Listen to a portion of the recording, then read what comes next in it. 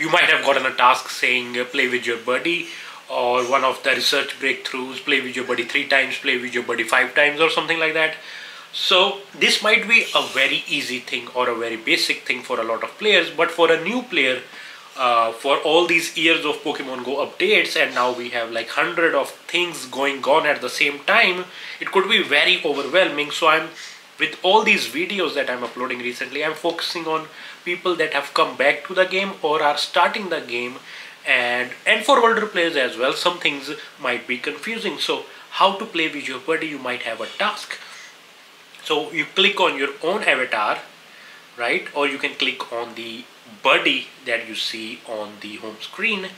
Just go to your avatar if you want to and then click on your buddy and now you see there's a play button and that's it. When I click the play button you can go to this screen and we have to collect the uh, gifts that buddy brings. That's a different thing but you just uh, like uh, rotate your finger or thumb on the Pokemon. Like you are petting a pet. You pet something and that's it. After some time you uh, are done with play with your buddy. But remember you see here play together you can only do it like uh, once a day and you have to come back after 24 hours or after the day is over or you can switch your buddy and play with another buddy to complete your play with your buddy task. Now the thing is except from this when I click on play by default you might see your camera as open. So you may not want to do that.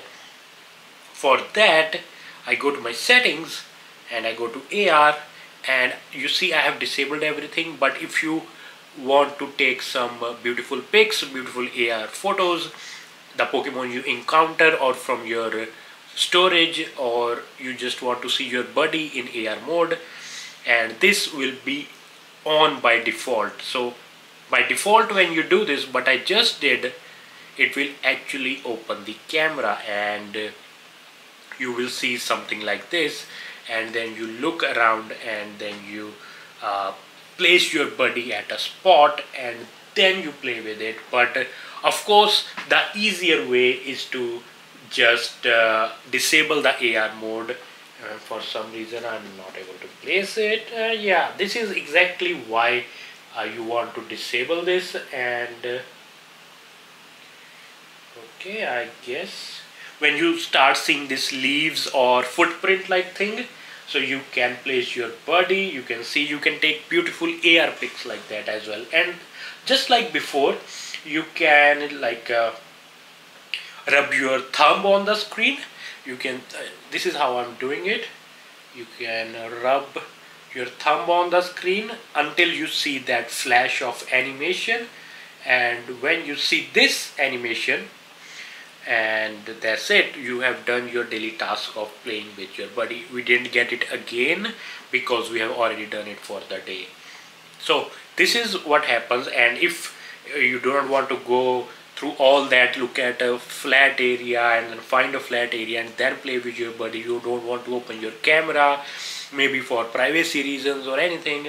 And or in general you want to save your battery life you just want to get away with your task. You just want to get your task done so uh, just remove this and now when I go we do not see our surroundings we just see the Pokemon and we can play with it. We can still take even the a snapshot here. It will be nothing in the background but if there is a take snapshot of your buddy you can take snapshot like this as well without the real background in the back. So this is how you play with your buddy and hopefully everything is clear. Of course I want to help you with everything and if anything is not clear please let me know in the comments below. I'll be very happy to answer. So that's it for this video. I'll see you in the next one explaining something again